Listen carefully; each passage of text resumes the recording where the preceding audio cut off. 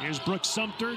One step inside the three point line, knocks down along two. McKinley Brooks Sumter, as she would like this year, but she likes this team's togetherness. There's a basket inside by Mallory Bruce, and she scores here. Paulk, another freshman inside, throws it away. Turnover on Wofford.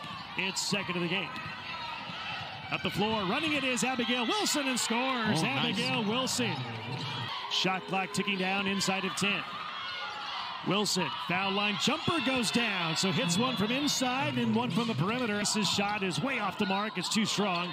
And the rebound by Asheville. Lead pass up the floor to a running Mallory Bruce and scores. Mallory Bruce with the basket. Pick up on a minute to go, first quarter. Brooks Sumter, good look for three, and down it goes. McKinley Brooks Sumter. McCon finds Brooks Sumter on the baseline, banks it in. To Olave, leans inside, shot denied and rejected by Nicera Menace for Asheville. Here come the Bulldogs, clad in blue. Down the lane is Brooks Sumter and puts it in. McKinley Brooks Sumter as Dewey taken away by Wofford. Turnover number six on Asheville. Then Wofford turns it right back over. Blanks in the lane, got it. There's Simmons driving it down the lane, banks it in. Boy. Five to shoot. Simmons hits a three. Lavani Simmons.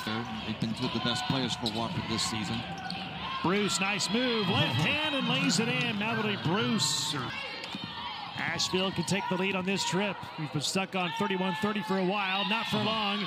Stepping through and scoring is Bruce. She has eight, and the lead is back. Nine. No. Offensive rebound by Bruce. Puts it up and puts it in. Put pressure on it. Ice tries to pass it down the floor. It's taken away by Asheville. Down the lane goes Simmons, missing. Brooks Sumter, yes, puts it in. Brooks Sumter against Rose. Knocks down the pull-up jumper. Almost a steal by Rose. They find Simmons inside, and she banks it in. By Rose. Adams got it back. Brooks Sumter for the baseline. Got it.